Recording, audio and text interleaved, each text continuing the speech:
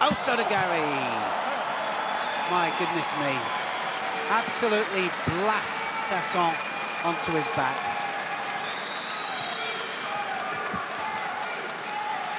Brilliant start for the world champion.